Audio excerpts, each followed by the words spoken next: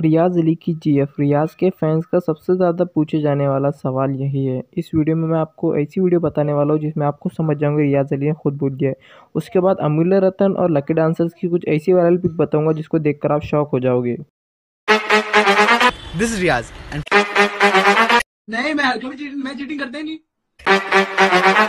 ना मेरी कोई गर्लफ्रेंड है ना मेरी कोई क्रश है।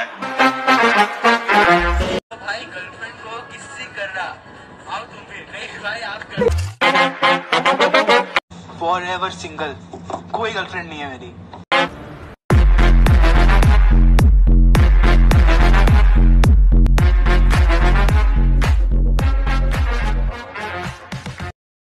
बहुत से लोग पूछ रहे हैं पिक्स देख रहे हैं, यहाँ पर देख सकते हो आप लक्की डांसर और अमूल्य रतन एक साथ है। जी हाँ अमूल्य रतन और लक्की डांसर आजकल कुछ ज़्यादा ही एक साथ अपनी पिक्स बना रहे हैं या फिर वीडियोस को क्रिएट कर रहे हैं। आप देखेंगे रियाज और लक्की डांसर बहुत एक साथ ज़्यादा ही अब नज़र आ रहे हैं। तो ऐसा क्यों? बहुत से लोगों का मानना है कि ये जी एफ़ बी एफ़ है।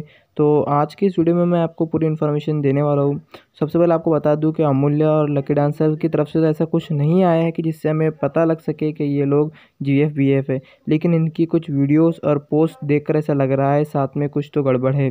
लेकिन आपको आगे कुछ वीडियोस आ जाएगी इन, इसके टॉपिक पर कि ये जी एफ़ है या फिर बी एफ़ है। अभी दोनों की तरफ़ से कुछ नहीं आया है कि हम बोल सकते हैं जी एफ़ या बी एफ़ का।